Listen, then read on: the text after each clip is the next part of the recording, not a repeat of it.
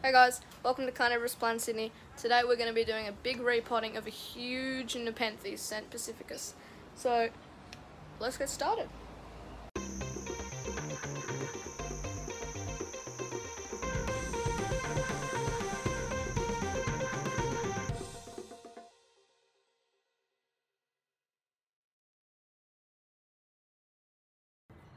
You may have seen this certain plant before in one of my older videos. I did repot a basal shoot from this plant. But yeah, ever since then it has been growing very well. It's flowered. Unfortunately, I do not have another flowering plant, so I missed out on that. But it is making some pretty big traps. So this is going to be good. The reason I am taking this plant out of the pot is because it has started to develop basal shoots at the base of the plant. Here's one. I've left them in for quite, maybe some would say too long, so there are quite a lot of them and heaps of pitchers. So I have to be extra careful I don't damage any of these.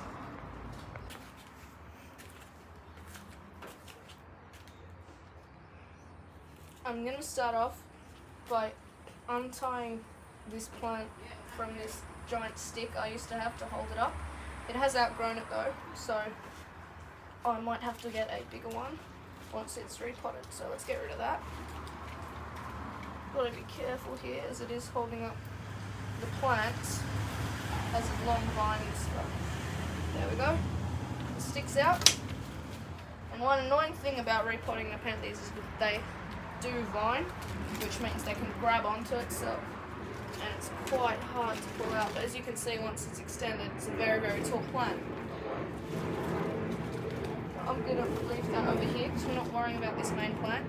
We are worrying about these. So these are the basal shoots. This is what I'm going to be taking out. So basal shoots grow from the main stem of the plant and are basically just babies of the plant. They're small clones. So I'm going to try. Oh no. I'm going to be, as I said, extra careful so I don't damage any of these huge pitchers. I think I waited a bit too long with this plant. It's much easier when the pitchers aren't that big. But once they start picturing at a decent size, then you know it's time to get rid of them. Down here, some people find this part hard. I think it is very hard. You just got to pull. And there we go. We've got it. We have this basal. Now I just need to save this one pitcher stuck. And there we go, that's our first basal. Successfully potted. It's a very healthy plant. And it's a good thing that it does have these pitches because without them, they won't have the energy to grow roots from here.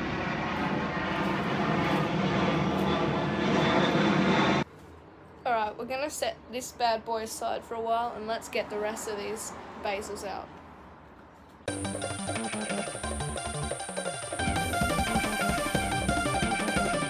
This basal is huge. Look at the size of the pitches this plant's creating. We are going to have a lot of really nice plants coming out of this Burkii. I mean, St. Pacificus. Let's get rid of all these weeds growing in the pot. There we go. We're on to our last basal. And this one may have already. Oh, hang on, there's a small one here. Right near the bottom, I've got to be extra careful. There it goes.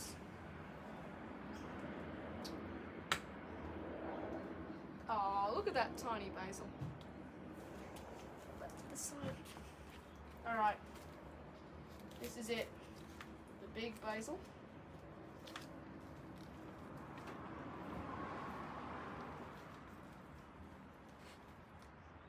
Gotta be very careful here.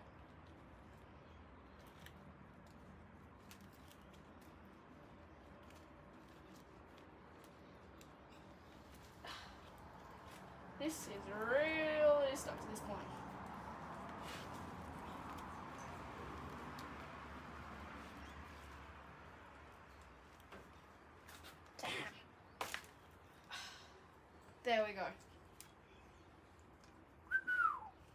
It's beautiful. Oh, it's a Christmas beetle. Merry Christmas.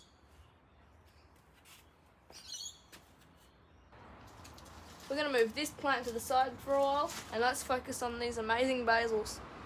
Guys, there is a fly already. Two flies already being baited by that pitcher. Three now. This plant is going to catch a lot of bugs.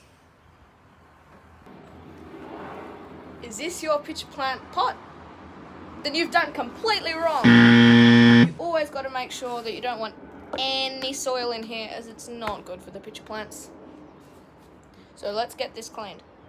Just a light soak will do, but if you want an excuse to put some heavy metal music in your video, then do this.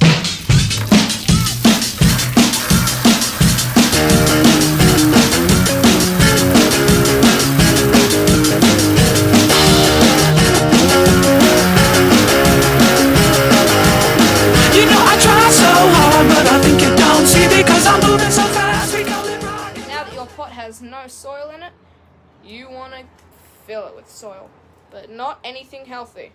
Well, for a normal plant, that is. What you want to be using is long fiber sphagnum moss. Now, I've had this stuff sitting in some water all day, so it is the perfect consistency to put straight into the pot. So now we're going to fill this bad boy up with some sphagnum moss. I said, give me a moment, Rob. Help me. Oh. You know I feel so smooth. I'm Right, now you have a pot with sphagnum moss in it. So, get your pitcher plant.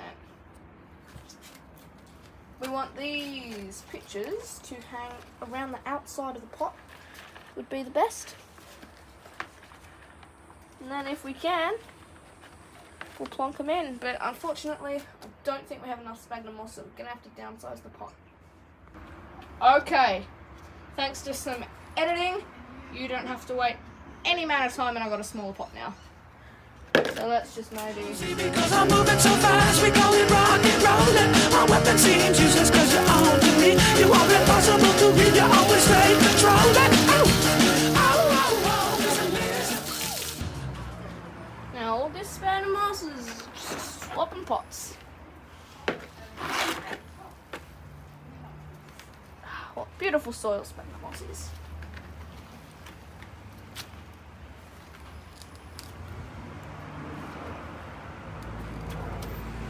Perfect. Now we can get this plant in the pot. That's what we want to do. Just get the pitchers around the outside. Damn, this big pitch is digesting a slug or something. It smells really bad.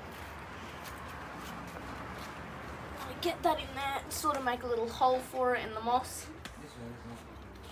Now, now that it's in, we want to pack it down. We need to make this plant want to give us some roots. Because if it doesn't, it'll be screwed.